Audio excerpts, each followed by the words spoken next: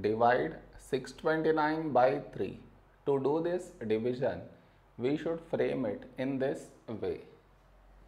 629 and 3 here. This is your step 1. Next. Here we have 6 and here 3.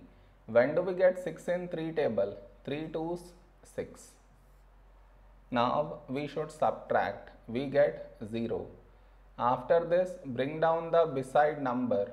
So 2 down. Now here we have 2 and here 3. 2 is smaller than 3. So we should bring down the second number. And the rule to bring down second number is we should put 0 here. Then only we can bring down this number. Now 29. A number close to 29 in 3 table is 3 nines 27. Now we should subtract. We get 2. No more numbers to bring it down. So we stop here.